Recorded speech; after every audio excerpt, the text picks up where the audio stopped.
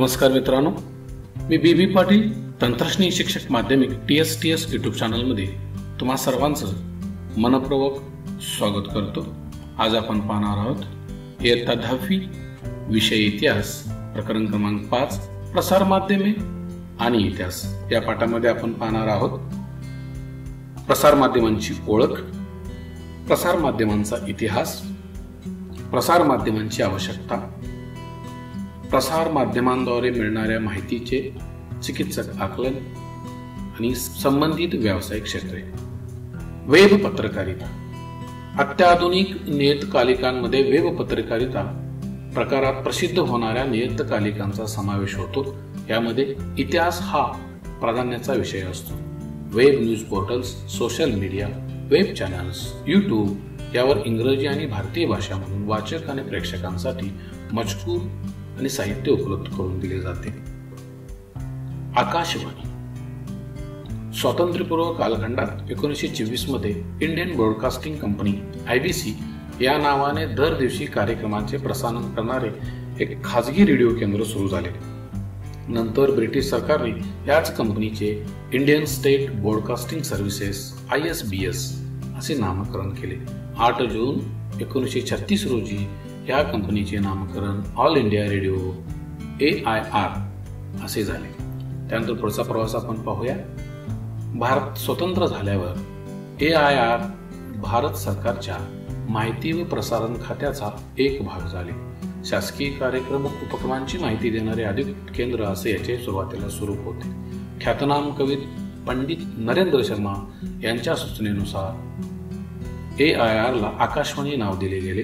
आकाशवाणीतर्फे विविध मनोरंजन पर प्रबोधन प्रबोधन पर्व साहित्यिक मूल्य असणारे कार्यक्रम सादर केले जातात. त्याचप्रमाणे शेतकरी कामगार युवक आणि स्त्रिया यांच्यासाठी विशेष कार्यक्रम प्रसारित केले जातात.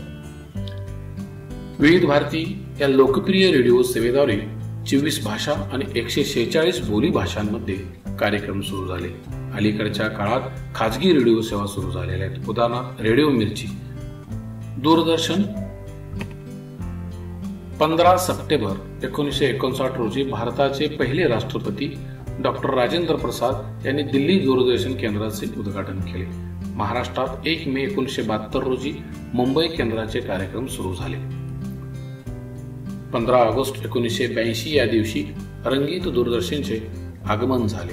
एकोणीसशे एक्क्याण्णवमध्ये परदेशी व देशी खाजगी वाहिन्यांना केबल तंत्राच्या माध्यमातून कार्यक्रम प्रसारित करण्याची परवानगी दिली गेली. आज मितीला भारतीय प्रेक्षकांसाठी शंभरहून अधिक वाहिन्या उपलब्ध आहेत.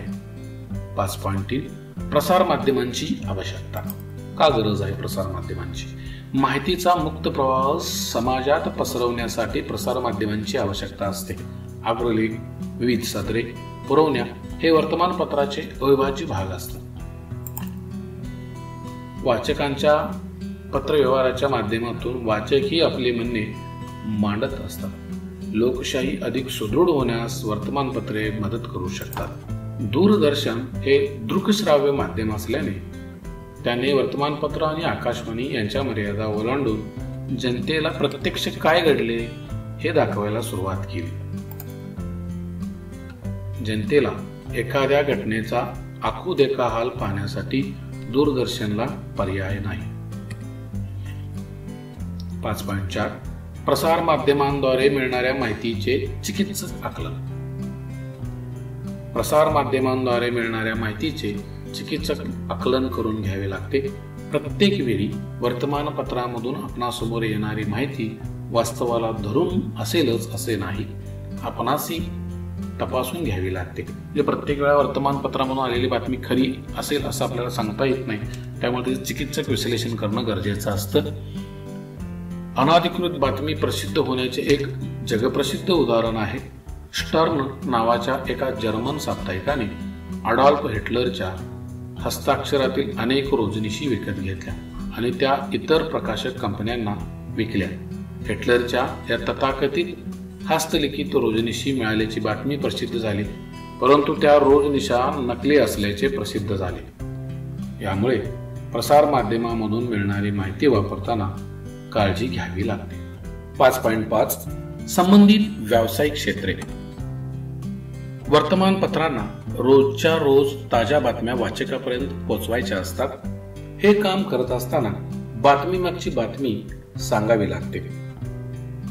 अशा वेळी वर्तमानपत्रांना इतिहासाची गरज पडते एखाद्या बातमीचा सविस्तर आढावा घेताना भूतकाळात तशाच स्वरूपाची एखादी घटना इतरच घडली असल्यास वर्तमानपत्रे ती बातमीमध्ये चौकट देऊन छापतात तेव्हा वाचकाला जादा माहिती मिळते आणि घटनेच्या मुळापर्यंत जाता येतं. वर्तमानपत्रातील सदरांमध्ये पन्नास वर्षापूर्वी शंभर वर्षापूर्वी अशा प्रकारची सदरे असतात. ती इतिहासाची साधने आणि इतिहासावर आधारित असतात. या प्रकारच्या सदरांमधून आपणास भूतकाळातील आर्थिक सामाजिक राजकीय ऐतिहासिक घटना समजतात. भूतकाळाच्या पार्श्वभूमीवर वर्तमान करण्यास मदत होते. वर्तमानपत्रांना विशेष प्रसंगी पुरवण्या किंवा विशेषांक काढावे लागतात. उदाहरणार्थ एकोणीसशे चौदा मध्ये पहिले महायुद्ध सुरू झाले. त्याला दोन हजार चौदामध्ये शंभर वर्ष पूर्ण झाली. त्या युद्धाचा सर्वंकष आढावा घेणारी पुरवणी काढताना त्या घटनेचा इतिहास माहीत असावा लागतो. एकोणीसशे बेचाळीसच्या चलेजाव आंदोलनाला दोन हजार सतरामध्ये पंच्याहत्तर वर्ष पूर्ण झाली. अशा प्रसंगी वर्तमानपत्रे लेख अग्रलेख दिनविशेष आढावा यांच्याद्वारे त्या घटनेचा वेध घेतात. त्यावेळी इतिहासाचा अभ्यास उपयोगी पडतो. आकाशवाणीसाठी सुद्धा इतिहास हा महत्त्वाचा विषय असतो. उदाहरणार्थ पंधरा ऑगस्ट एकोणीसशे सत्तेचाळीस किंवा त्यानंतरच्या प्रधानमंत्र्याची स्वातंत्र्य दिनानिमित्तची भाषणे आकाशवाणीच्या संग्रहात असून त्याचा समकालीन परिस्थिती समजण्यासाठी उपयोग होतो. आकाशवाणीला काही विशेष कार्यक्रम प्रसंगी इतिहासाच्या अभ्यासकांची गरज लागते. राष्ट्रीय नेत्यांची जयंती वा पुण्यतिथी एखाद्या ऐतिहासिक घटनेस एक वर्ष पंचवीस वर्ष पन्नास वर्ष शंभर वर्ष वा त्यापेक्षा त्या पटीत जास्त वर्षे पूर्ण होत असतील तर त्याची चर्चा करण्यासाठी त्या घटनेची माहिती लागते. राष्ट्रीय नेत्यांच्या कार्यावर भाषणे देण्यासाठी वक्त्यांना इतिहासाचा आधार घ्यावा लागतो. आकाशवाणीवरही दिनविशेष कार्यक्रम प्रसारित होतो. दूरदर्शन आणि इतिहासाचे जवळचे नाते आहे इतिहासाच्या संदर्भात आवड निर्माण करण्याचे आणि जागृत करण्याचे महत्त्वाचे काम दूरदर्शन आणि इतर वाहिन्या करतात. दूरदर्शनवरील रामायण महाभारत अशा पौराणिक मालिका तसेच भारत एक खोज राजा शिव छत्रपती या ऐतिहासिक मालिकाने फार मोठा प्रेक्षक वर्ग आकर्षित केला. रामायण महाभारत यासारख्या मालिकांची निर्मिती करताना तत्कालीन वातावरण वेशभूषा शस्त्रास्त्रे राणीमान भाषा यासंबंधीच्या जाणकारांच्या मदतीची गरज लागते. त्यासाठी इतिहासाचा बारकाईने अभ्यास करावा लागतो. आधुनिक काळात डिस्कवरी नॅशनल जिओग्राफी हिस्टरी यासारख्या चॅनेल्सवर प्रकाशित होणाऱ्या मालिकांमधून जगभराच्या इतिहासाचा खजिना प्रेक्षकांसाठी खुला केला गेला आहे. त्याद्वारे लोक जगाचा इतिहास आणि भूगोल घरबसल्या जाणून घेऊ शकतात. या मालिका अधिक रंजक होण्यासाठी काही वेळेला इतिहासातील निवडक भागाचे व्यक्तिरेखांच्या माध्यमातून सादरीकरण केले जाते. उदाहरणार्थ कर्तृत्ववान स्त्री पुरुष खेळाडू सेनानी इत्यादी. त्याखेरीज वास्तू किल्ले साम्राज्याचे उदयास्त इतकेच नव्हे तर पाककलेच्या इतिहासावरील मालिकाही लोक उत्सुकतेने पाहत असतात. वरील सर्व क्षेत्रांसाठी इतिहासाच्या सखोल अभ्यासाची गरज असते. जाणून घ्या या सत्रातली माहिती पाठ्यपुस्तकातली आपण. पाहूया. भारताच्या प्राचीन ते अर्वाचीन इतिहासाच्या संदर्भात दूरदर्शनवरून प्रसारित झालेली भारत एक खोज ही मालिका महत्वाची आहे. पंडित नेहरू यांच्या डिस्कवरी ऑफ इंडिया या ग्रंथावर आधारित ही मालिका होती. श्याम बेनेगल दिग्दर्शित या मालिकेने भारताच्या प्राचीन काळ ते अर्वाचीन काळाचा सामाजिक सांस्कृतिक आणि राजकीय इतिहास मांडला. सखोल संशोधन आणि सादरीकरण या पातळीवर ही मालिका सरस ठरली.